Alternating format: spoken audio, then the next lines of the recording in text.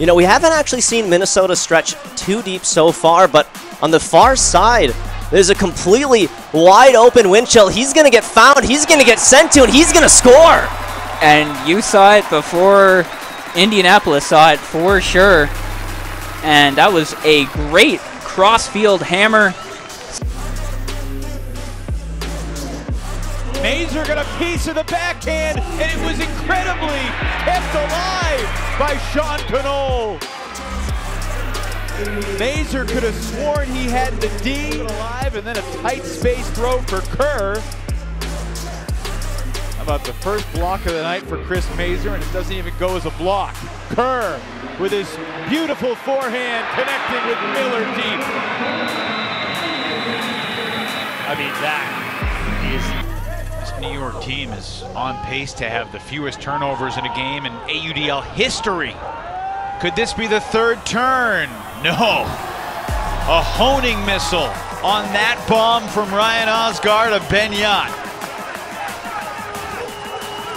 Beautiful timing between Osgar and Jagt. And it reminds you, you sometimes forget that he's a two-time MVP. A lot of what he did for his assists. Start this second quarter. They've had about five, six minutes to rest.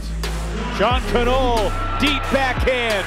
Jordan Kerr, chased by Valley, and Kerr's got it.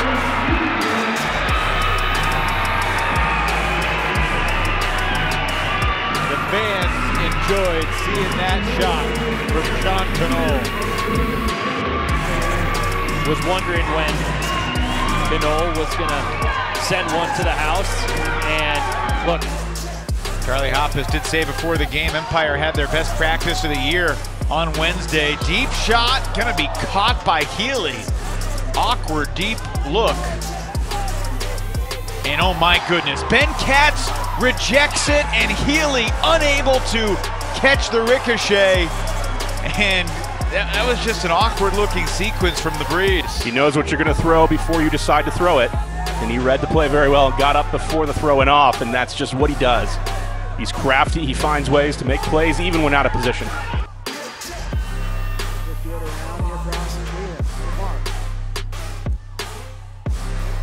Side throw, sharp throw. Oh my goodness, coming out of nowhere there with a big time rejection. Oliver Fay and Matt Smith coming back. But I believe a timeout was called. Oliver Fay, are you serious? At every way that someone can get open, it's pick your poison as how you decide, as how you try to force him out, because then you know he's going to be too deep, and Malk's going to be the one to find him, as you mentioned, with that chemistry. And it's a Callahan for David Bloodgood for the first breeze break of the night. Are you kidding me? How did that happen? You're DC, you don't care about being good, you care about being lucky. It's better to be lucky than good in this instance, and I think we're going to have to watch the replay, but I'm going to guess Sol Rushmeyer Bailey thought that disc may have been out and deciding what to do with it, hesitated just a little bit.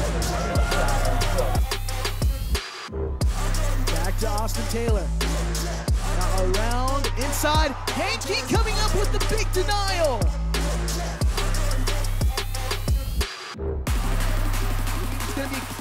There for Kyle Henke. Just when that final score goes in, it's going to be jubilation for someone and just absolute defeat for the other team. This one, Danger's not able to handle it, is Langdon. Fitzgerald here with the dick. This, trying to pick it up quickly. Swiatek. Back around here to Fitzgerald. Fitzgerald needing help, trying to point out traffic, has to put it up. Around there in the end zone, and that is the dagger in the game winner. Austin wins it all 21-20 and advances to championship weekend for the first time here in franchise history. Austin Taylor now looking for Matt Smith, working it down the line. That one is denied. Matt Smith trying to tow it. A is back into the fray. Haverfield connects. What a play there from the Atlanta Hustle as they go up one.